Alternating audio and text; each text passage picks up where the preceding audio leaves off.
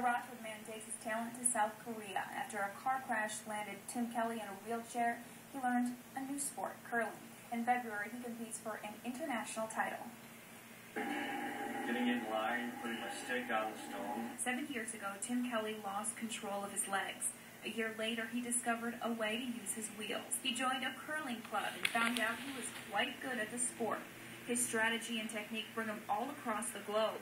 Tim recently qualified for the World Wheelchair Championship in Chuncheon, South Korea. I also competed in Cape Cod with an international wheelchair spiel with teams from Scotland, Russia, uh, Canada, and the U.S. The game is a little different in a wheelchair. Because we're all in wheelchairs, we can't chase a 42-pound stone down the ice and sweep in front of it. So there's no wheelchair sweeping in wheelchair curling.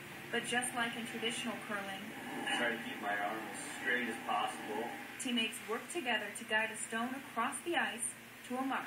In February, Tim will compete with the four other members of the national curling team, a group that shares strategy and life lessons. You have team teammates, and you all have similar, you know, disabilities, and you learn from each other, and you teach each other ways to cope and ways to do new things.